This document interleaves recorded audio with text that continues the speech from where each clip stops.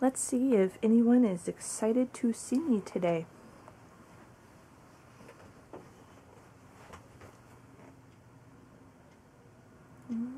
They? Uh, looks like he's in his hide. Wow.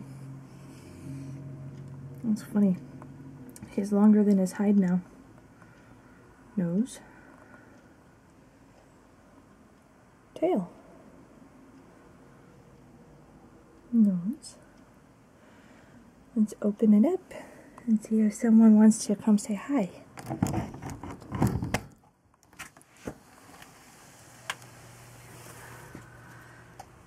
Tyr. Tyr. can see him all the way back there. He's so pretty. So anyways, this is Tyr, my blue tegu. He, or she, I think it's a he, but you know, I could be wrong, is a little over three months now. Um, I haven't weighed him lately and I haven't measured him lately, but he is growing really fast. And he eats just about everything. He's still eating uh, feeder bugs, and he is on a whole prey and fruit regiment diet. He is in a five by two and a half by three enclosure. He was put in there since the day I got him. I do not believe in putting hatchling tegus into glass tanks because I do not think that they hold heat and humidity right. Also, a tegu grows so rapidly and so fast that why not just start them out in a larger enclosure like a 4x2 by 2 and then gradually move on up as, as they get bigger. We will be custom building him another enclosure probably this springtime. We will probably make him either a 6 by 4 by 3 or another 8 footer depending on uh, what we have room for. But he's growing rather fast and he's taming down really well. He's still a bit uh, feisty out of his enclosure, but you know, that's to be really expected with young babies. You know, they see us as Godzilla, ooh, and we want to eat them. But uh, he's starting to know that I am, I'm not a threat. Hi, baby. Yes, there's my baby Tyr. Hi, that baby. So Tyr's a really good eater, and he's uh, starting to recognize his name. We're trying to socialize him more with people other than just me. I would like to start getting him out more and letting him roam as soon as he gets bigger. But he is using a topsoil organic soil with peat moss. It holds humidity really well. I also have leaf litter in here to help with the humidity as well. I also like the looks of it as it gives it a more of a fall color and more of a natural setting for his enclosure. I have provided several logs to help with aid of shedding. He has a nice big hide that he has taken a whole bunch of leaves into and made his own bed inside. Mm, just some little decor.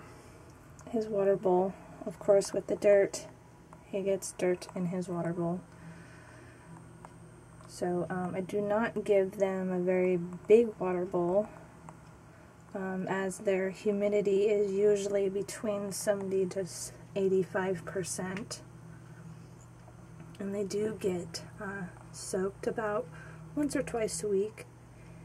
Him, on the other hand, he's not uh, very happy with uh, baths, but he does get sprayed with the mister every couple times a day.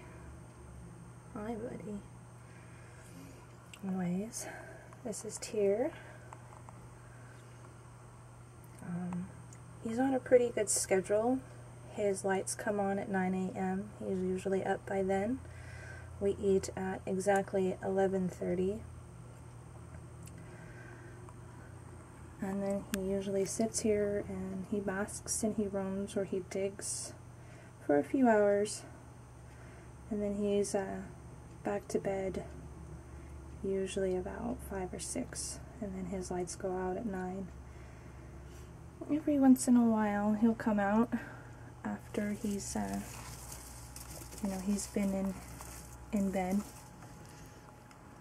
we do have uh, you know hands-on time also he seems to shed um, about every so with shedding every uh, 14 days it lets me know that he's growing good um, He's not aggressive when I feed him, but he has um, a really good feeding response. Um, I have bumped up his temperatures a little bit more now. They are at a, between 115 and 120 surface temp. Hi, baby. Yes. Hi, baby. I do use a, a Power Sun Mercury bowl. I believe that uh, those are the best bulbs out there. Yeah, so, yeah, he seems to enjoy him. So it's about 12 days since his last shed, and uh, he's getting ready to uh, start again. He's looking pretty dull. Let me see. Hmm. Yeah. He's a good boy, though.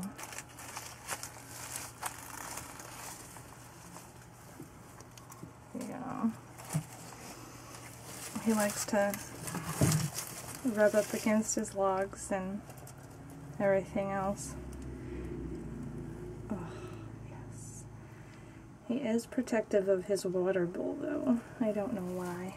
He's never bit me, and he's never come out me to bite.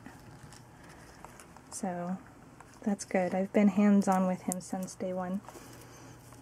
I got this little guy from Brad Wilson. Most of you guys know him on our groups and feeds. He's uh, got a few uh, figures himself that are just absolutely beautiful. And I can't wait for Tyr to start looking like his parents. But he's starting to change little by little every day. Love that little nose. See, we love the little nose, don't we, Tyr? Okay, well anyways, it's feeding time. He's getting restless and he wants to eat, so talk to you later. So we know it's feeding time. We're going to feed him some roaches. Hey, right over here. Easy. Like I said, he's got a great feeding response.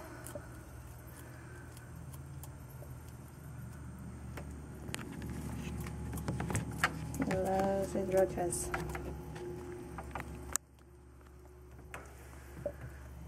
You want some more? Come on.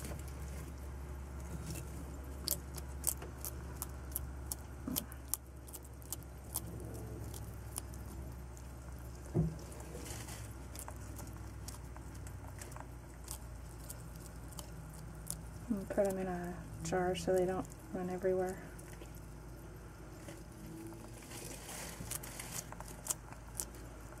And he'll probably eat like a good 10.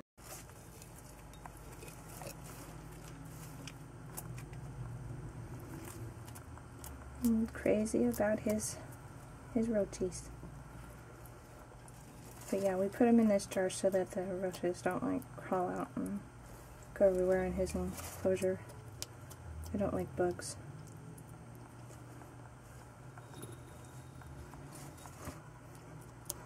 So every time he sees his jar, he knows that it's time to eat. There you go, baby. There you go. But yeah, he can like munch down like 15 to 20 roaches per serving. And we're talking about like medium-sized roaches too. So my camera's having issues and I want to keep filming. Hopefully it will let me. But he gets pretty pretty worked up about his bugs. And he knows when it's time to eat. There's still one in there, baby. There it is. There you go. Oh, did you get it? There's still one more. And it's a little one. Inside. There you go. Oh, a couple little ones. He's so funny. Did you get it? Good job. So, bugs are gone, and he still wants more, but 20 is enough for what he needs. So, oh goodness, such a fat boy. Yes. So, that's some eating and some filming and details about. It's so funny, he actually used to be able to fit through these little logs. You're so funny, Tyr. What are you doing? He likes his leaves. Oh, you're so funny. Yes, you are. You are so funny. What are you doing? Oh, you got a, you got an itch? Huh? Oh, you're done. You're done. Look at that belly. You're full. Say bye-bye.